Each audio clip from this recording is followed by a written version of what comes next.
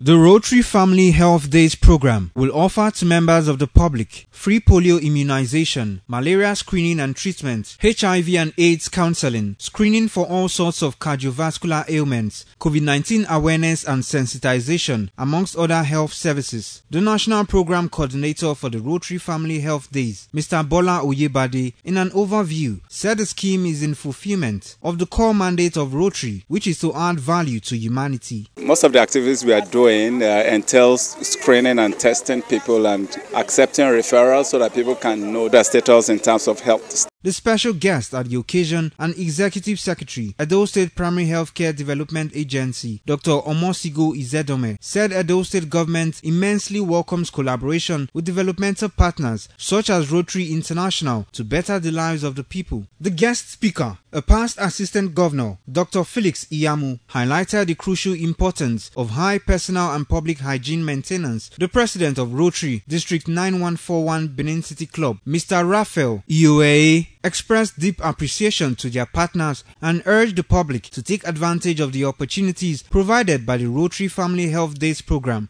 An organization with such a spread as Rotary is embarking and collaborating with the Edo State Primary Healthcare Development Agency, especially in the prevention of disease and public enlightenment on healthcare as a whole. It is something we do for humanity and what we enjoy doing it is just the that desire to make sure that we have one or two persons being taken care of. Beneficiaries of the new health program also had lots of kind words for the Rotary Club for the free medical checkup. Thank you very much. May God in His infinite mercy continue to guide every one of you. Various Rotary past governors from the Rotary Club District 9141, other Rotarians, top government officials were present at the event. Osemudiamen Osagie, ITV News.